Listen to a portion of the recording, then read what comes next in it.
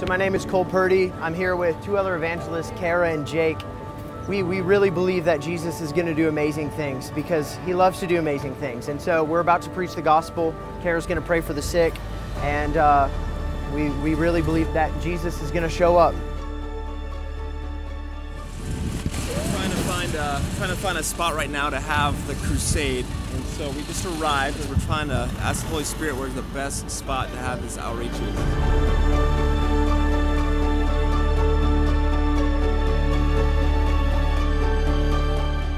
Jesus made a way Yesu alitengeneza njia when there was no way. mahali pasipo na njia, And Jesus is here today. na Yesu yuko mahali hapa leo, And he is saying, Let me into your heart.